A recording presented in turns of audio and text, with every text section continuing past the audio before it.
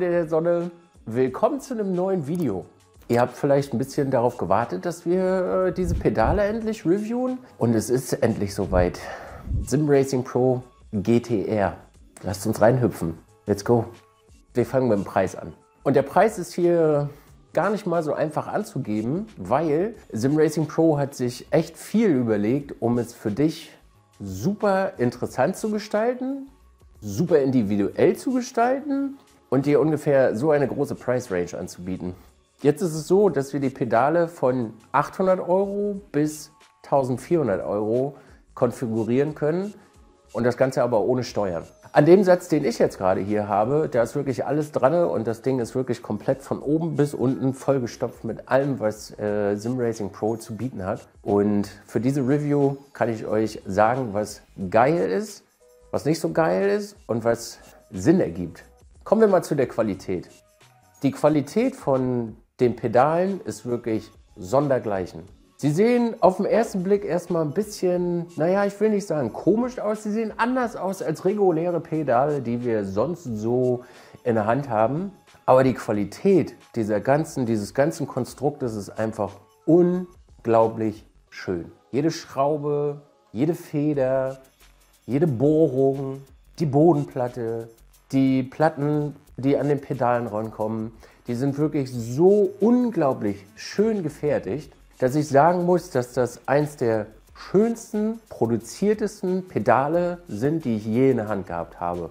Und das ist für mich persönlich immer sehr viel wert. Und das rechtfertigt für mich den Preis am Ende, den wir bei den Pedalen haben und dass wir auch so eine große Preisrange haben. Wenn wir uns jetzt mal die ganzen Bauteile angucken, also wie zum Beispiel die Plate, die wir an die Seite ranmachen können für den Fuß. Ich habe das für am Anfang immer für ein bisschen schwachsinnig gehalten und dachte mir so, nee, warum braucht man sowas? Das ist doch überhaupt nicht relevant. Das muss ich jetzt aber leider revidieren, denn das erste Mal, dass ich die jetzt gehabt habe, finde ich sie sehr, sehr schön und wünschte mir, ich hätte sie überall dran dass der Gaspedalfuß nicht irgendwie immer schräg steht, sondern gerade drauf ist.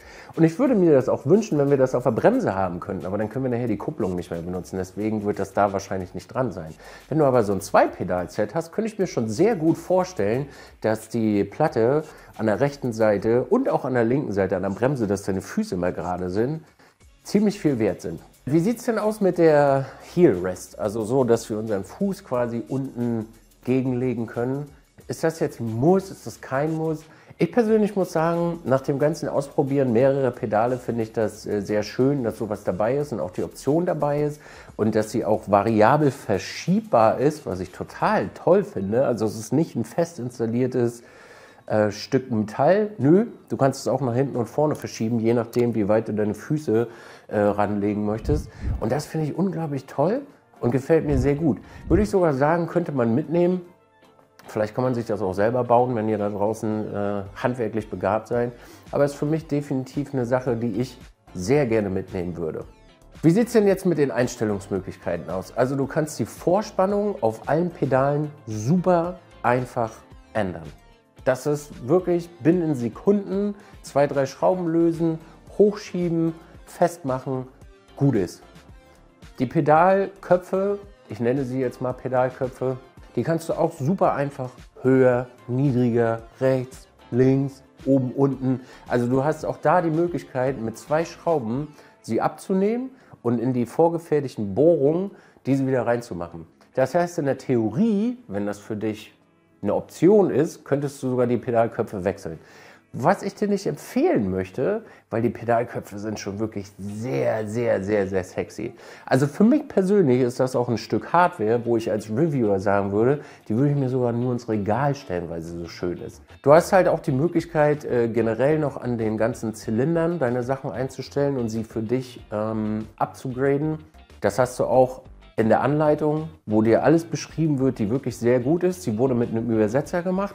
Also der Chef David, mit dem ich den geschrieben habe, der gibt sich sehr viel Mühe, auch mit den Leuten zu kommunizieren und arbeitet sehr viel mit Übersetzern. Also das heißt, falls du da mal in der Bedienungsanleitung was lesen solltest, was dir nicht unbedingt koscher erscheinen. Das könnte durch den Übersetzer kommen.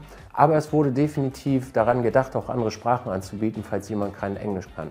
Und dort drin findest du wirklich alles, was du brauchst, was du ändern kannst. Jede Schraube ist beschrieben. Das heißt, ich muss dir das jetzt eigentlich hier alles gar nicht zeigen, weil dann würde ich dir den Spaß wegnehmen, wenn du es auspackst und, dir, äh, und dir das ansiehst. Und alles, was dort drinnen beschrieben ist, ist wirklich kinderleicht zu machen. Du musst da nicht irgendwie großartig rumfummeln, irgendwas rummehren oder äh, hast Probleme mit den Schrauben, dass sie nicht rausgehen oder die Schrauben übergnuppen. Alles wertig, alles easy, gar kein Problem. Tippitoppi. Lass uns doch mal über die Software sprechen. Wenn wir jetzt auf die Homepage gehen von SAP, können wir oben den Download-Ordner oder den Download-Rubrik finden, können dann hier auf die äh, Firma klicken. Dann kannst du dir hier auch gerne noch das äh, Manual runterladen und hier oben findest du die Firmware und auch das Setup. Wenn wir jetzt die Software öffnen, werden wir hiermit begrüßt. Das ist natürlich jetzt nicht das, was man gewohnt ist von anderen äh, Herstellern, wo es schon ein bisschen umfassender ist und auch äh, designtechnisch ein bisschen anders gestaltet ist. Aber hier ist alles drin, was wir brauchen. Also wenn wir jetzt die äh, Pedale kalibrieren wollen, können wir hier auf Pro Kalibrieren drücken. Dann können wir hier auf Kalibrieren an der Seite drücken. Dann können wir jetzt hier die Bremse, seht ihr, wird hier alles beschrieben. Äh, drücken Sie den Beschleuniger auf das äh, Maximale, halten Sie es und äh, drücken weiter. Habe ich jetzt gemacht. Ich drücke nächster. Das machen wir jetzt bei der Bremse, machen wir das auch. Nächster. Dann können wir jetzt hier die Kupplung treten. Nächster. Und dann äh, ist das hier fertig. Dann können wir Speichern drücken und dann sind die, sind die Pedale fertig kalibriert. Und dann kannst du hier sehen, dass alles funktioniert und einsatzfähig ist. Dann können wir das speichern, wenn wir das wollen unsere Kalibrierung oder wir sagen Einstellungen übernehmen, schließen das Ganze und sind hier fertig. Dann können wir jetzt hier bei den Custom-Einstellungen, können wir, seht ihr ja, können wir hier wieder unsere ja, Geraden einstellen, wenn jemand dazu Lust hat. Ich bin ja immer Typ, ich habe alles äh, linear und lasse das auch immer so. Dann haben wir unsere äh, Todeszonen, die wir einstellen können, die Dead Zones. Ich habe meine jetzt hier bei äh, 85% für äh, iRacing. Ne? Das heißt, wenn ich jetzt hier reintrete, ist hier, ist hier Feierabend bei der Ausgabe und der Rest ist ganz, äh, ganz normal gegeben. Und alles andere ist hier ehrlich gesagt gar nicht mehr wirklich so relevant. Wir könnten jetzt hier selber noch unseren Monitor öffnen, wenn wir das wollen, falls wir kein extra Programm dafür haben. Wir können hier noch die Sprache einstellen, wenn wir das möchten. Na, wir schließen mal den Monitor.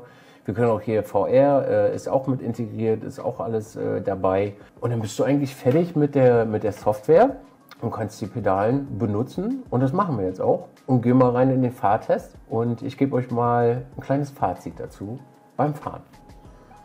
So, nachdem wir uns jetzt die Software angeguckt haben, können wir ja mal eine Runde beraten gehen, oder wie? Schön mit dem Porsche auf Le Mans in iRacing. Los geht's. Also so vom ersten Eindruck her, ich fahre ja normalerweise Schuhe und ähm, die Pedale würde ich auch ohne Schuhe fahren. Also die sind wirklich super gemütlich. Das, die Heelplate fühlt sich sehr, sehr gut an am Hacken. Also es ist jetzt nicht so, dass das irgendwie weh tut oder irgendwie ein unangenehmes Gefühl ist. Die Pedale schmiegen sich unglaublich schön an die Füße an. Also so vom reinen Gefühl als Schuhfahrer normalerweise ist das hier echt ein ein Segen.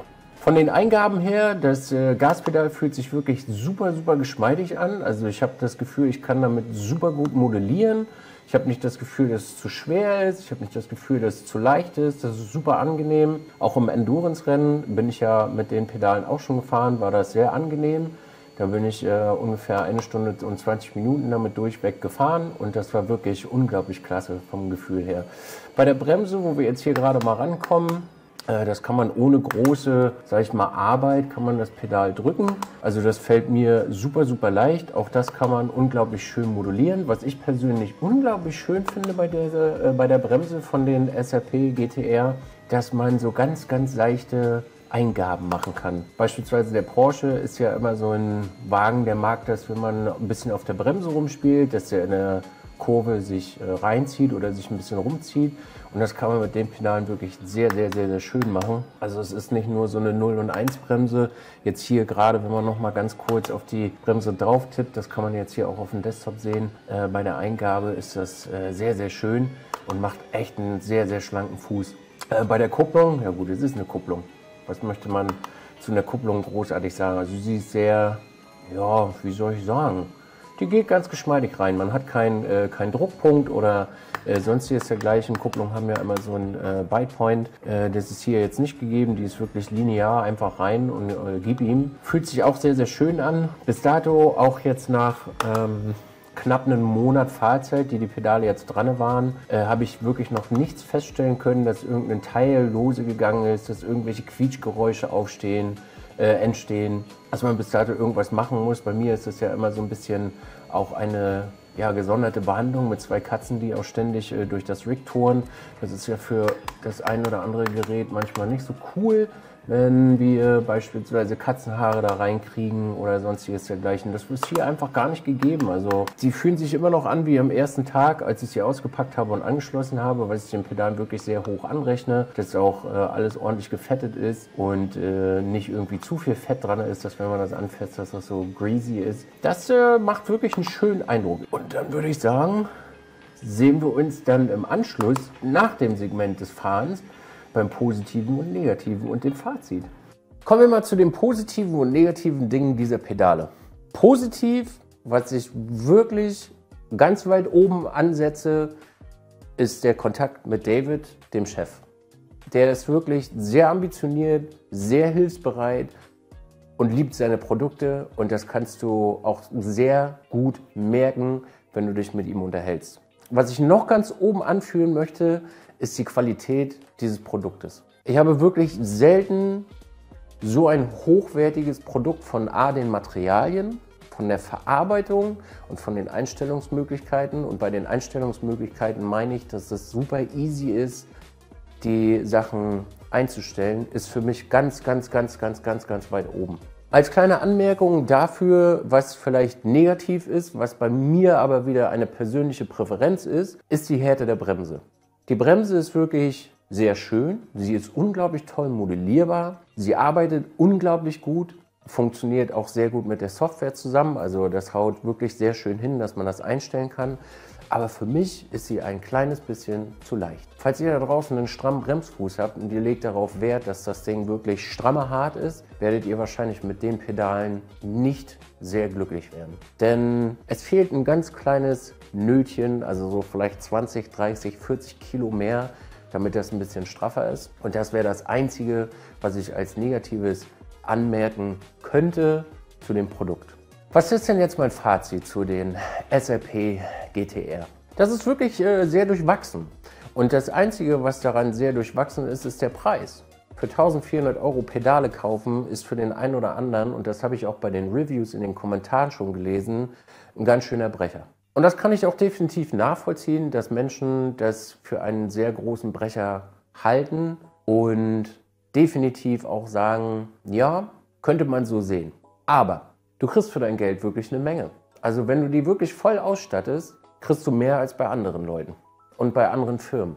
Denn bei anderen Firmen hast du nicht die Möglichkeit, äh, diese Zusatzteile A hinzuzufügen, wenn du sie möchtest, und B wieder rauszunehmen. Wie beispielsweise wenn wir das jetzt vergleichen mit SimMagic, dort ist das gegeben, aber ein Einzelunternehmer und äh, kann nicht mithalten mit einer großen Firma.